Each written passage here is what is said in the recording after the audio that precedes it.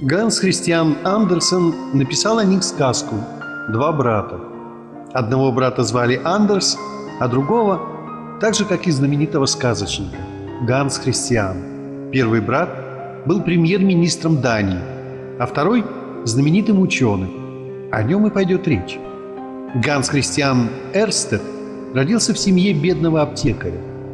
Но благодаря своему таланту, воле и труду он стал фактически национальным героем Дании. Его опыты и открытия в области электромагнетизма привели к великим физическим открытиям и сделали Ганса Христиана членом множества национальных академий наук, в том числе Петербургской. Ко всему прочему, Эрстед был блестящим научным просветителем и педагогом. В 1824 году им было создано общество по распространению естествознания а в 1829 он организовал политехническую школу в Копенгагене. Ганс Христиан был верующим христианином.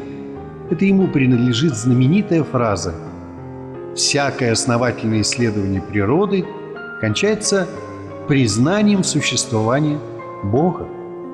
Ганс Христиан Эрстед